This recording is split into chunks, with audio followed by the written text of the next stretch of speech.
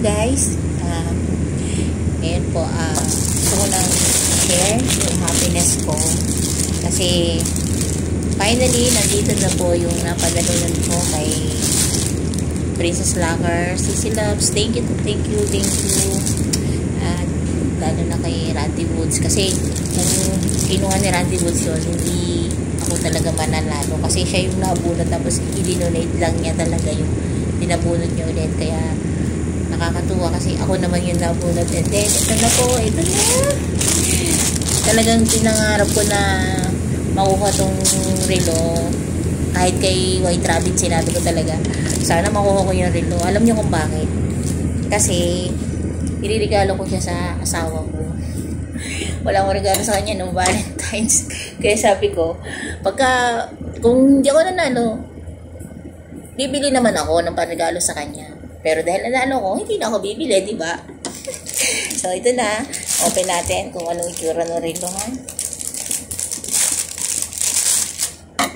Nakakatuwa. Hmm, ito na siya from JRS Express.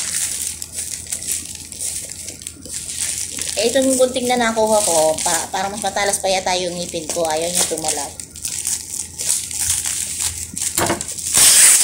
Yun. Kabuksan din.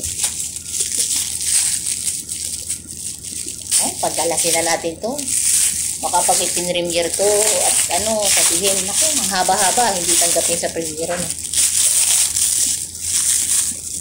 Wasakin daw. Sabi, kanina ko ba narinig yung wasakin para daw may kasunod. Malay mo nga, may kasunod pa.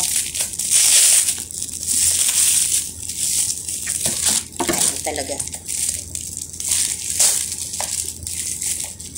Gigil na ako. Ayaw pang tumalog yung gunting ng gigil na ako. Ano yun? May message na sa akin. May nag-message.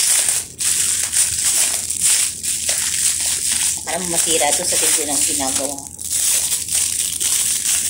Tara! Ito na siya. Ano ba to? Pahugot o pabuklat?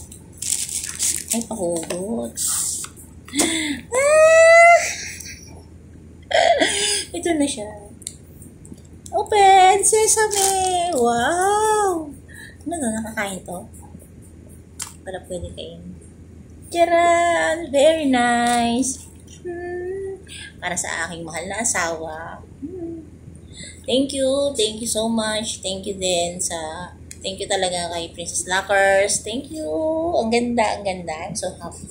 Thank you so much.